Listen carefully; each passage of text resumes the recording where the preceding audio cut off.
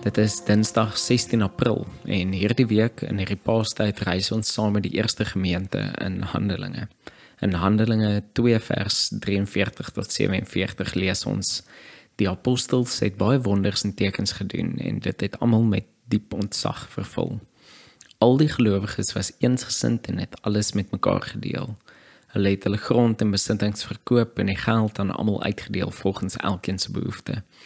Hulle het almal elke dag trou by die tempel bymekaar gekom. Van huis tot huis die gemeenskaplike maaltyd gehou. Hulle kos met blydskap en alle eenvoud geëet en God geprys.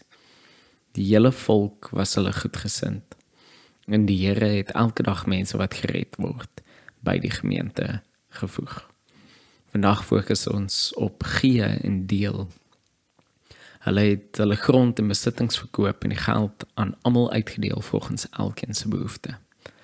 As jy hierdie gedagte hoor, watter emosies kom by jou op? Vir baie van ons maak hierdie gedagte ons so bietjie ongemaklik. Maar dalk is dit 'n goeie ding dat ons so bietjie ongemaklik voel oor hoe geheg ons aan ons besittings is.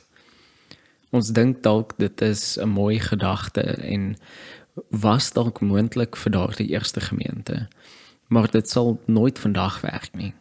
Die eerste gemeente was gekenmerk deur hulle vrygewigheid en die feit dat hulle nie veel waarde aan besittings geheg het nie omdat die boodskap of die weg van die koninkryk van God vir hulle veel belangriker was. Hoe moeilik dit ook al vir ons is nooi hierdie teksgedeelte ons uit om 'n wêreld te verbeel waar daar nie meer ongelykheid bestaan nie, waar mense nie soveel as moontlik vir hulself bymekaar maak nie, maar waar mense met mekaar deel sodat elkeen genoeg het volgens hulle behoeftes. Waarheen nooi vandag se gedagte jou uit? Dalk nooi dit jou uit om weer te dink oor die manier of die hoeveelheid wat jy gee of om te reflekteer oor die waarde wat jy aan jou besittings heg. Daar is 'n mooi storie van 'n gemeenskap van mense wat bymekaar gekom het en besef het hulle almal bly na aan mekaar.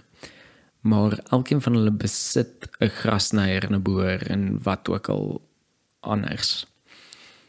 Hulle het besluit om alles te verkoop wat hulle in die gemeenskap meer as een van het en dan die grasnyer of boer of strykyster of wat ook al anders onder mekaar te leen soos wat hulle dit nodig kry.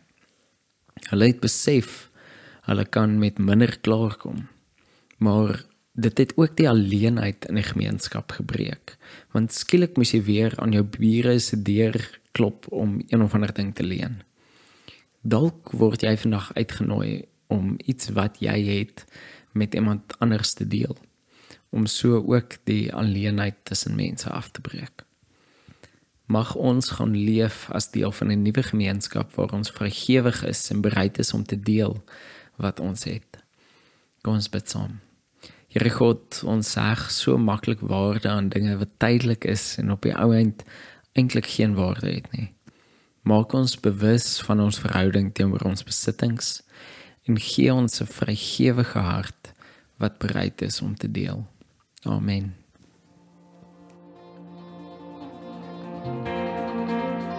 Stellenberg gemeente. Oor grense heen.